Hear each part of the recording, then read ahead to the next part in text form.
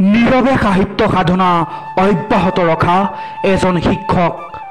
বছৰ বছৰ ধৰি এইজন শিক্ষকে সজাই আহিছে শব্দৰ মালা।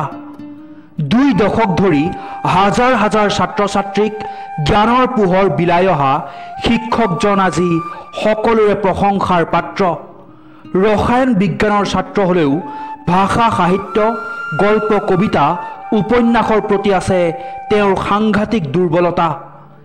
তিতাবৰ প্ৰাগজ্যোতিকা জুনিয়ৰ কলেজৰ ৰসায়ন বিজ্ঞানৰ শিক্ষক বিশ্বজ্যোতি শৰ্মাই দুহেজাৰ চৈধ্য চনত লিখি উলিয়াইছিল শিশু উপন্যাস উলটিয়া ল'ৰালিৰ ধেমালি।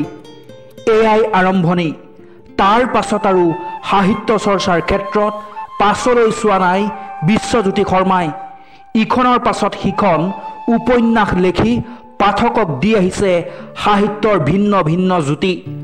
ডিব্ৰুগড় বিশ্ববিদ্যালয়ৰ কৃষ্ণচূড়াৰ ৰং আংৰা তেজপিয়া আৰাল নীলকণ্ঠী আদি উপন্যাস ৰচনা কৰি পঢ়ুৱৈ সমাজৰ আদৰ প্ৰশংসা বুটলিবলৈ সক্ষম হোৱা এইজন শিক্ষকে নিজা বাসগৃহতে গঢ়ি তুলিছে এটা ক্ষুদ্ৰ পুথিভঁৰালো।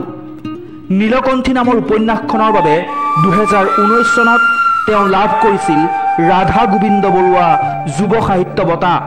তাৰোপৰি দুহেজাৰ সোতৰ চনত তেওঁলৈ আগবঢ়োৱা হৈছিল বিন্দু সাহিত্য সন্মানো।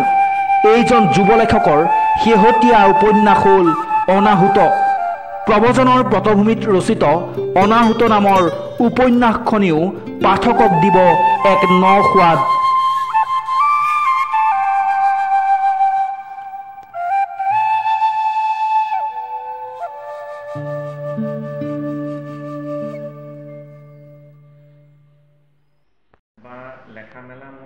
পৰা কৰিছোঁ। কিন্তু উপন্যাস হিচাপে বা চিৰিয়াছলি মই লেখা মেলা কৰিবলৈ আৰম্ভ কৰিছোঁ দুহেজাৰ চৈধ্য চনৰ পৰা।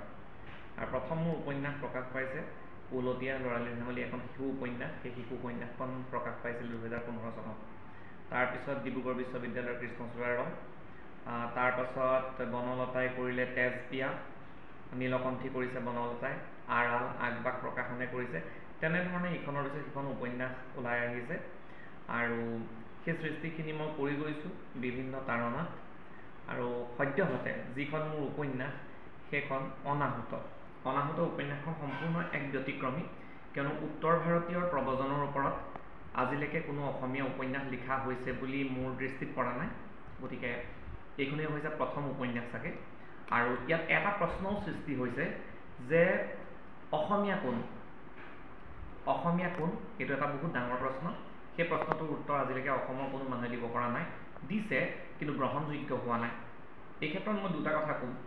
এটা হৈছে যে অসমীয়া জাতি গঠন প্ৰক্ৰিয়াটোক মানুহে ভাল ধৰণে চাব লাগিব।